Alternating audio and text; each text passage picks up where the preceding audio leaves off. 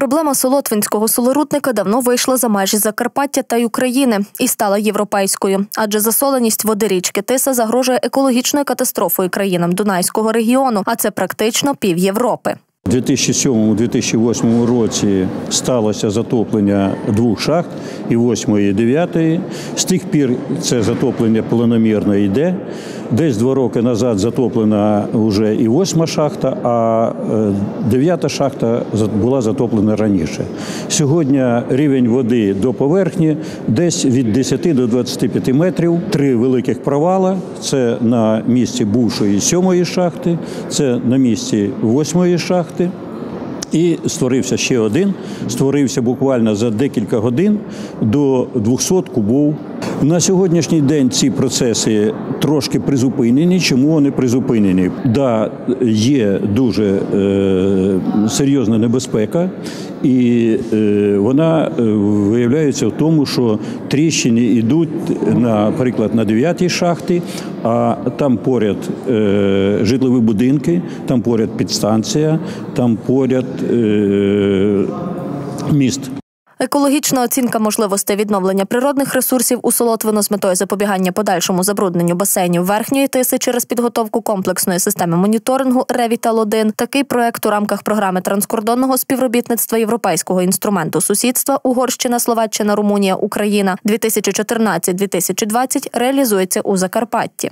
Проект, який е, отримав на сьогоднішній день фінансування 968 е, мільйонів 235 тисяч євро. Це 90% е, коштів Європейського союзу, і 10% буде забезпечено співфінансування. Загальна вартість загальна вартість проекту це 1 мільйон 75 тисяч 817 євро.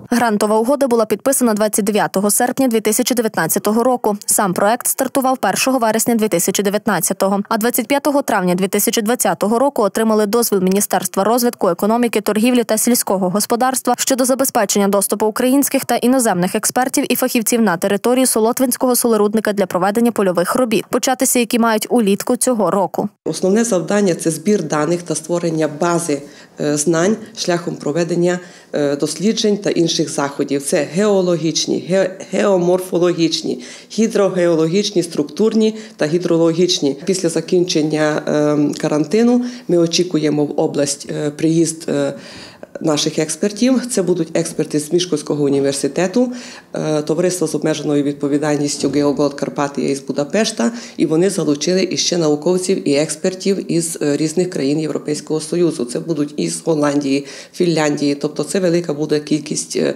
експертів. Експерти та фахівці проведуть підготовчу роботу для запуску робота, який планується у серпні чи вересні. Чим унікальний цей проект саме тим, що Проводитися роботи будуть і збір даних не тільки на поверхні, а із повітря, але саме головне, що робот буде опускатися у підземелля, у е, шахти, там, туди, куди ми не можемо посилати людей тому що це небезпечно. Робот е, в цілому невеликий. Ми його е, презентували е, під час стартової конференції, і було дуже цікаво.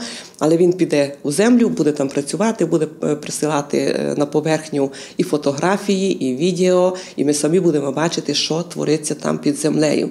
І від роботи, і від результатів цих залежить, що будемо мати далі в Солотвино. Отримавши реальну картину у Солотвині, будуть сформовані пропозиції, як діяти далі. Буде підготовлено два масштабні документи. Один це як і в назві сказано е, е, моніторинг, дослідження. А друге, це е, буде концептуальна записка, яка буде містити ідеї для майбутнього інвестування. Тобто, наша наше головне завдання це е, реабілітувати територію, знайти е, можливості і для відновлення як роботи шахти, так і алергологічної лікарні, так і туристичних можливостей. Проект розрахований на два роки. Після його закінчення розраховують на підтримку європейської спільноти для продовження роботи у проектах Ревітал 2 Ревітал 3 і так далі, аби продовжити роботу з реабілітації території Солотвина.